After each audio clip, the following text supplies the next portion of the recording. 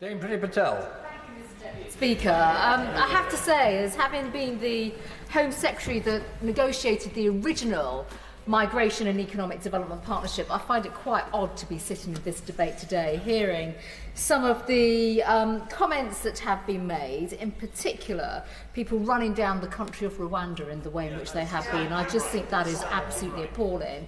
And I say that because the partnership with Rwanda was established as a world leading, innovative way to tackle the challenges caused by mass migration and the displacement of people, Mr Deputy Speaker. It was carefully designed with our friends in the Rwandan government to do one thing that no one in this House has mentioned at all today, which is to raise the international bar when it comes to the treatment of asylum seekers with compassion and support when it comes to their resettlement.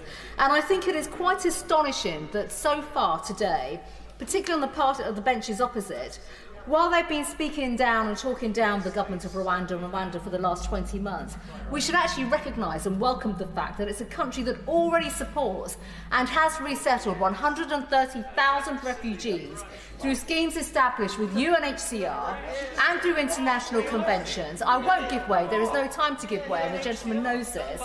And, and effectively, these are the types of schemes that we need the resettlement and working with third countries to actually deal with this awful, awful, abusive, and illegal trade in people smuggling. And it's a stain, I have to say, Mr. Deputy Speaker, on this House with some of the awful comments that I've heard thus far about Rwanda and this scheme. We have a moral imperative to raise the bar and effectively look at how we can be better as governments around the world to address these issues. And that is why when I negotiated and agreed the partnership in April 2022, we all knew it would face criticisms and legal challenges, and the government of the day was prepared for this.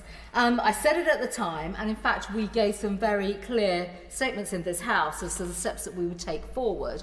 And it was, in fact, a year ago the High Court found the plans to be lawful. The Court of Appeal ruled against the policy, citing concerns over the issue of refoulement, which are well known. But importantly, as the Supreme Court has since referred to as well, these are issues, and the Supreme Court has emphasised this, that the principles of the policy and the recognise the commitment given by the Rwandan government to make the partnership work, they are all fine and they are sound. But there are operational measures, Mr Deputy Speaker, that have to go further, which the government has since outlined through this bill, but actually through statements in this House, which would help to make this viable.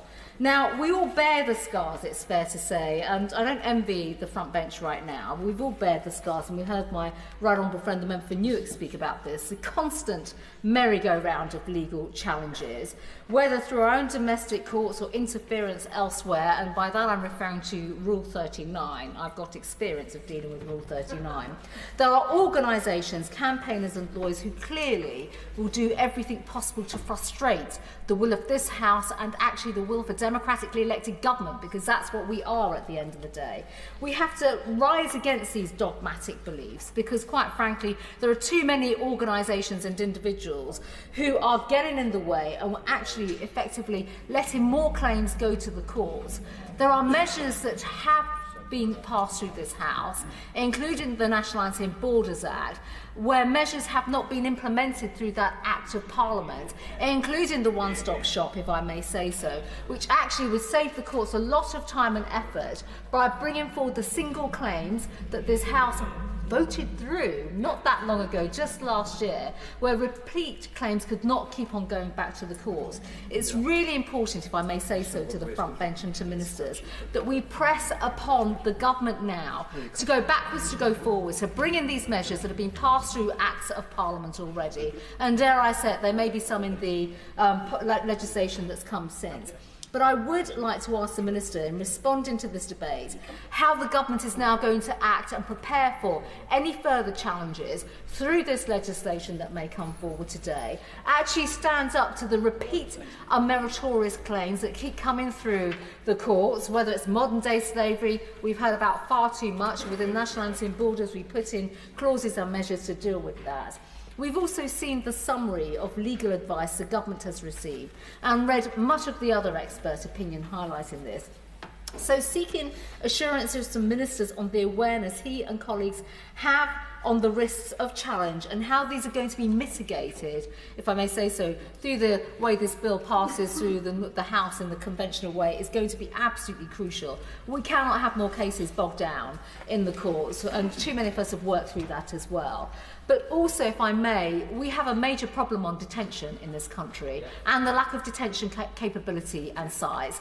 There were plans with the new plan for immigration to introduce Greek-style reception centres. I would absolutely press upon the Minister, the Home Office, to work with the Prime Minister and the, and the Treasury now to bring forward these sites because otherwise we're going to see more Bibby Stockholms, more Wethersfield sites, which quite frankly are not the answer to the solution.